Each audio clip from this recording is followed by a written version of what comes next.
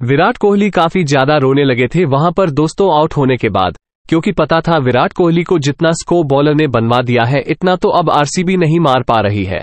शुरुआत तो विराट कोहली ने ज़बरदस्त दिया था, लेकिन एक बैट्समैन की तरह अपने पर विश्वास करना पड़ेगा, सामने वाली टीम दो सौ सतासी मार सकती है तो आप भी मार सकते हो, लेकिन बैट्समैन को रहना पड़ेगा वहाँ पर। विराट कोहली जब आउट होकर जा रहे थे, स्टेडियम की तरफ़ आँखों से आँसू साफ़ दिखाई दे रहा था। कि लग रहा था कि आज आरसीबी हार गया और इसी तरह इस बार आईपीएल के सुपर चार नहीं जा पाएगी आरसीबी बाहर हो गए।